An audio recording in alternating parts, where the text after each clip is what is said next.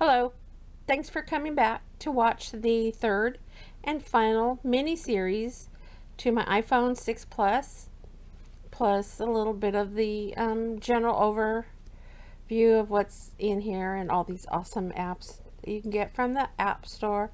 I'm especially fond of this iMovie app. It's free.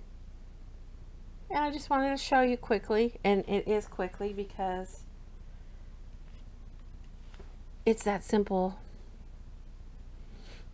I just learned a few days ago how to do an overlay video. Just want to show you how easy it was. Let me use this.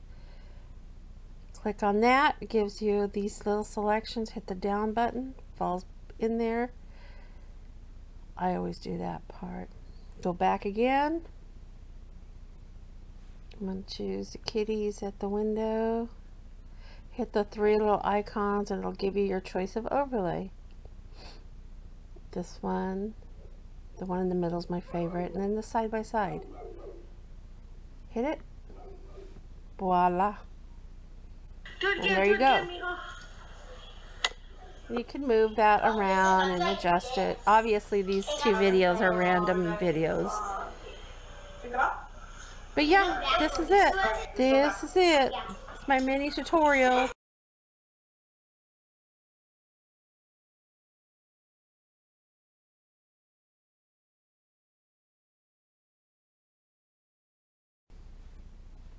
trying to show a close-up.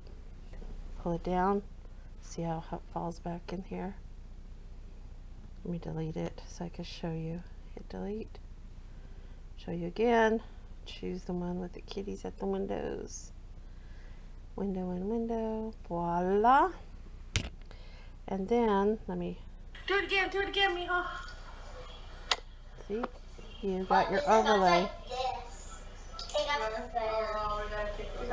And you can move it around the window within and that's my simple iMovie overlay tutorial. I feel like a genius since I know how to do this Thanks for watching guys See you next time.